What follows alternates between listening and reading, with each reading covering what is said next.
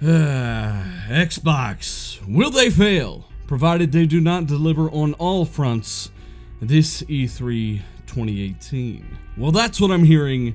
And before we begin the video, I want to address one thing, make one thing absolutely crystal clear. Just because you, your best friend, your other best friend's friend, or maybe even your grandma says Xbox is dead box if they don't deliver this E3, does not make it the case.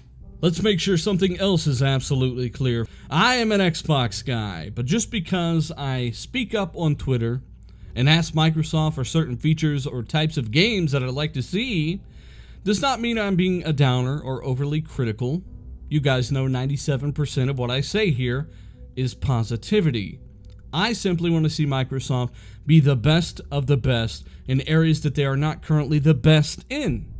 And that's the mark of a true pro consumer fan that wants all fans of the brand to benefit. So when it comes to E3 2018 and what they can do or what they have to do to stay afloat, don't be silly, okay? For one, Microsoft just announced they pulled in over $2 billion last quarter from the Xbox division alone. Dull hairs. Dull hairs. Lots of dull hairs to buy buy monies and things with. They also announced they had the highest engagement rate of any platform, according to Satya Nadella, Microsoft CEO. So when you pull un, unsubstantiated stuff like Xbox is failing, or they're in dire straits, or they're doing badly, or they're gonna fail if they don't deliver on all fronts at E3 2018, out of your ass, out of, out of your asshole, you're a fraud. Stop it. Quit it. You really have to start basing your claims in actual research. I need a link to that claim, sir.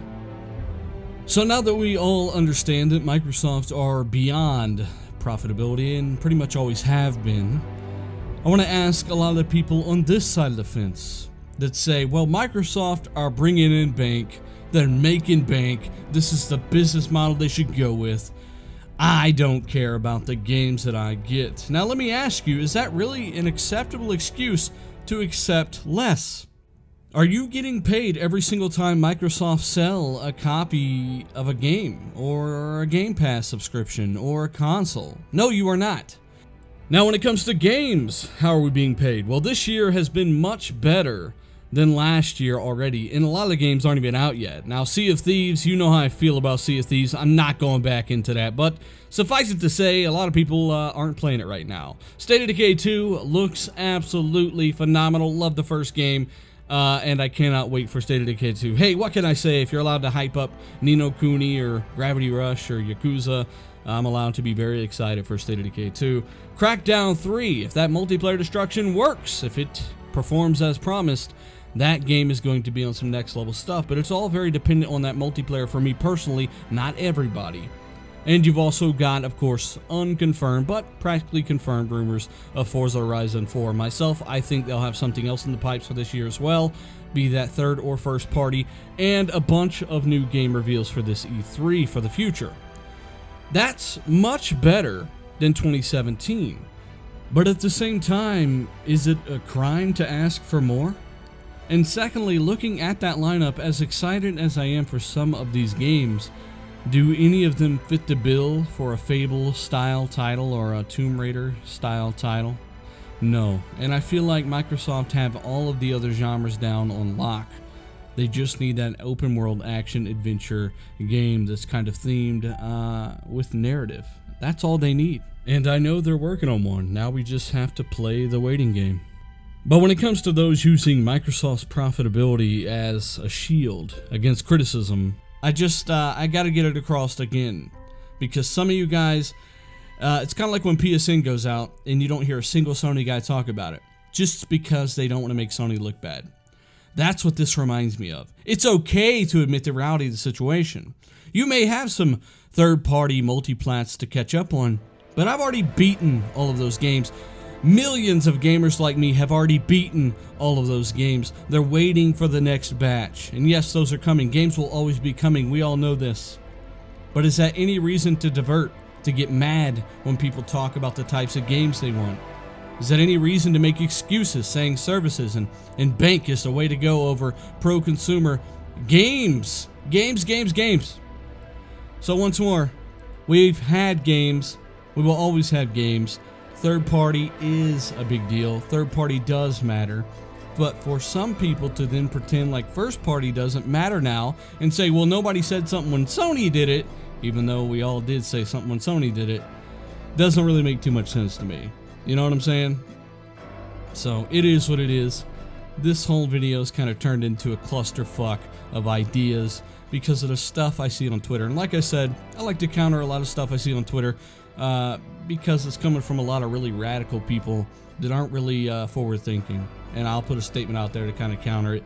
So once more, uh, same thing when it comes to E3. People overreacting, talking about Xbox dying at E3 if they don't deliver all of this stuff. You're insane. That's not the case. If visuals didn't matter, 1070s, 1080s, I wouldn't have a 1080 right now, right? None of this stuff will tell. That's what you gotta think. So visuals do matter, performance does matter. Games also matter. It's not that it's one or the other, it's all about the games. That's false. It's about performance and games. And fortunately for Xbox, most all games, every single one of them, run better on the Xbox One X over the PS4 Pro. They look better and they run better. Usually with a resolution boost plus visual effects boost. That's a positive. But of course, now Microsoft had to double down and focus on those uh, narrative driven experiences. That's what I want to see anyway. Get fans stoked for the brand and really innovate on that side of things. And I think this next round of Halo Gears games are going to be phenomenal given they are taking longer with these than they did the previous ones. I am excited about that. I'm glad we haven't heard anything from Halo 6 or Gears of War 5, uh, things like that. I'm just uh, in the mind that detail takes time. And at the same time, I am not doom and glooming the Xbox brand like so many others out there. I have a lot of confidence in the brand. That's why I ask so much of the brand. So consider those words. For others that like this video, consider hitting that like button. It really helps the channel more than you know. Get the message and the train of thought out there if you happen to agree. And if you want to support the channel and content like this on Patreon for as little as a buck a month, you can go there. That link is down below. I'm also giving away games like Far Cry 5, Wolfenstein 2, Star Wars Battlefront 2, and so much more. So check out that link down below. And of course, for the rest, if you like this kind of content, subscribe for more. I'm Dealer. I'm out.